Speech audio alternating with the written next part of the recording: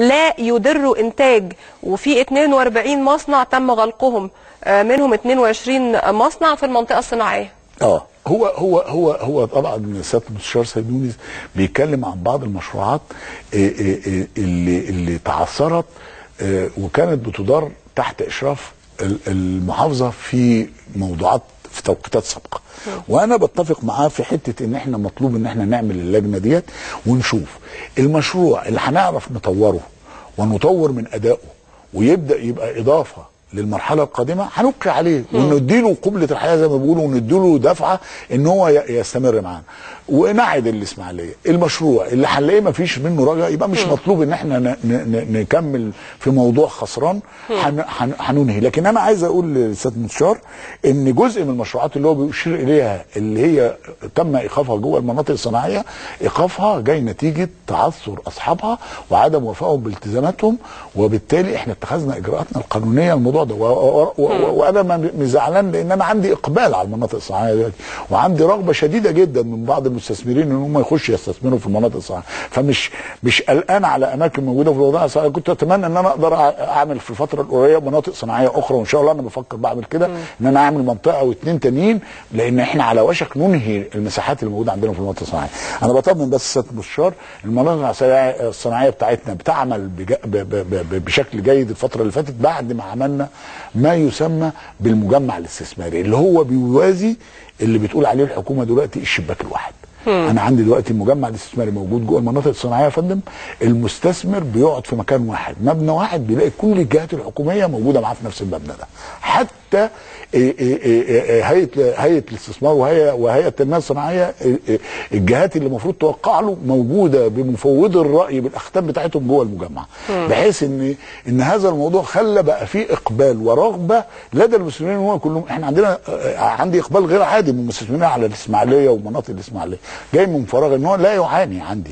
بالعكس إحنا بنرحب بيه جدا ومشجعين للاستثمار فأنا بطمنه تمام. ان حتى اللي توقف ده هيعمل إن شاء الله. طيب آه، برضو موضوع اتكلمنا فيه ولكن هم اتكلموا عنه بتفاصيل أكتر. مشروع إسكان مبارك في مدينة المستقبل واللي المشاهد الكريم قال إنه تم تسليمه بعد ثورة يناير ولكن من غير مرافق. وده ضيع آه، آه، عليهم فرصة إنه اللي عاوز يقدم في أي مشروع إسكان تاني هو مش هيعرف لأن هو واخد بالفعل شقة في هذا المشروع وبعضهم خدوا شقق إيجار جديد وبيدفعوا 1500 و2000 جنيه في الشهر. شفت ليه بقى؟ وأنا أول ما بدأت الكلام معاك حبيت أوضح الفرق بين المشروعات المختلفة من بعضها. الكلام جه أهو. أيوة. لأن إحنا عندنا اللي شغال معانا إحنا واللي بادئين بيه واللي إحنا مسؤولين عنه دلوقتي حاليا بنعمله على أسس سليمة جدا وبشروط صحيحة جدا وعلى قواعد تعامل سليمة اللي هو الاجتماعي.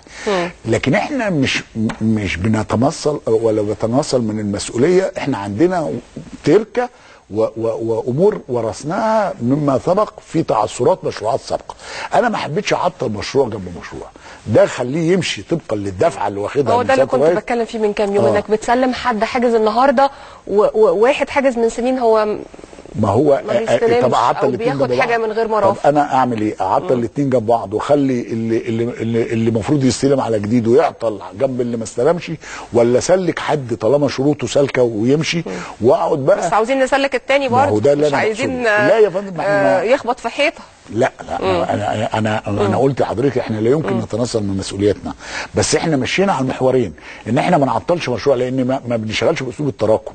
إحنا هنشتغل في الاجتماعي طبقا للدفعه اللي هو واخدها وإحنا فعلا بنقر إن إحنا عندنا بعض المشروعات اللي تعثرت ويمكن عشان الحديث ما يطولش شرحه هو تعثر هذه المشروعات جه نتيجة إيه؟ إن المشروعات دي شرع في بنائها من خلال وزارة الإسكان وفي نص المشروع أوكل للمحافظات استكمال المشروع. دون توفير الدعم المالي الكافي. فبعض المحافظين قدروا يدبروا جزء ويكون فرصة الطموح بتاعتهم أعلى من المتاح بالنسبة لهم ففتحوا في مشروع ضخم. يعني مثلا عشان يعدد عدد الم...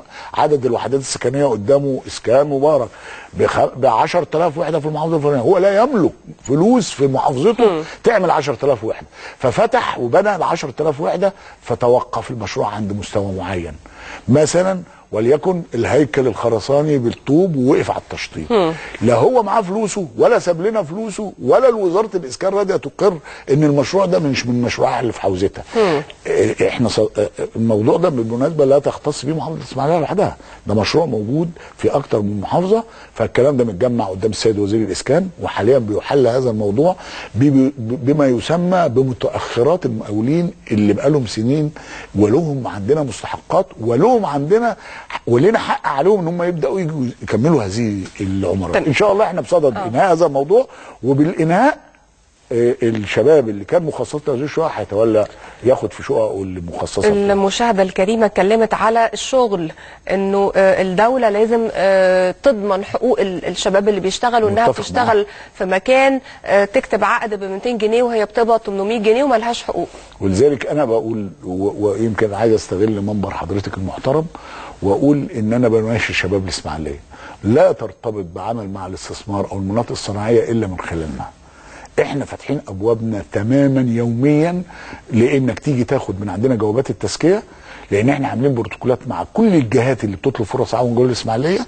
إحنا بنعمل الحماية الكافية للشاب بتاعنا. يعني الشاب بيعمل إيه؟ يجي لي. طيب ولا- ولا- ولا- ولا يعني يتحصل- الاسماعيلية ولا- هتوفر له شغل لا يا فندم يجي لي إيه؟ عشان أديله الفرصة اللي هو عايزها دي آه. بس أجيبها له من خلالي آه. يعني هو يجي لي أنا عندي حاجة اسمه جهاز تشغيل الشباب آه. بنديله جواب تزكية للجهة اللي هو عايز يشتغل فيها بيروح نقول له فرصة العمل اللي سيادتك أعلنت عنها أنا باعت لك الشاب ده بالبيانات دي بالجواب ده شغله عندك وأنا يبقى عندي بيانات الشركة وعندي بيانات الشاب طب ما هي الشركة ممكن ما تاخدش الشاب اللي جالكوا واخد ده ملزم. وتاخد شاب ده تاني ملزم، ده أنا عامل بقى- علشان ما تلتزمش بالفلوس دي. ده أنا ده ملزم يا فندم لأن آه. أنا عامل معاه بروتوكول كده. وأنا عندي آلياتي اللي أقدر أحاسبه. بيها. آه. عندي الاليات مش عايز أقول يعني اللي ما يلتزمش معايا وأنا مش هلتزم معانا كمان. هو اللي ما ياخدش الشاب بتاعي واللي ما يشغلش أبناء المحافظة ما يطلبش مني آه، إن أنا أبقى داعم وم- ومرن وابقى, وأبقى هو لأ ده يعني أنتوا واقفين ورا شباب الإسماعيلية. تماما. وأنا بدعوهم إن هم ما يشتغلوش في مجالات الاستثمار تحديدا ولا يتعاملوا مع الشركات إلا من خلالنا. يجي يقول لي أنا عارف إن في فرصة عمل في المنطقة الصناعية في الشركة الفلانية أنا أقول له فعلا الفرصة دي حقيقية وال- وال- والعائد بتاعها أو المرتب بتاعها كذا وأدي جوابنا.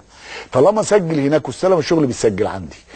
هنا بقى ببقى طرف ثالث لو حصلت بينه وبين الشركة مشكلة هو بيرجع لي ببقى داعم معضد لموقفه مع الشركة اللي موجود فيها. آه، آه، وبالتالي أنا أنا مؤيد وجهة نظرها تماما وبقول لها وقولي للشباب وساعدونا على إن الشباب يجوا يفعلوا دور جهاز تشغيل الشباب اللي عندنا في التعامل مع فرص العمل العديدة اللي موجودة. إحنا بندلل على فرص عمل بالمناسبة.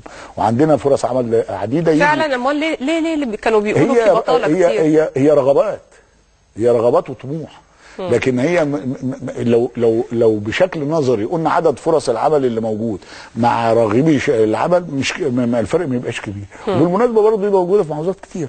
في فرص عمل موجودة بس هي القضية إيه؟ إن إحنا في واحد بيبقى ليه شروط معينة في فرصة العمل اللي بيتمناها فهو لسه ما تحققتش في الفرص المعروضة. موضوع مشكلة نادي